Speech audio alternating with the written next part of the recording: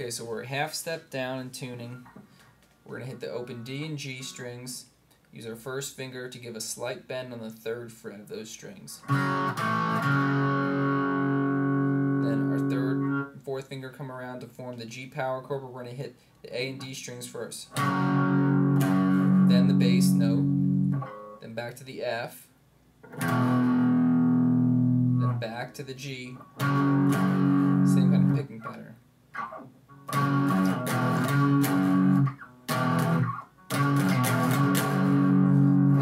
C. Then do a muted strum.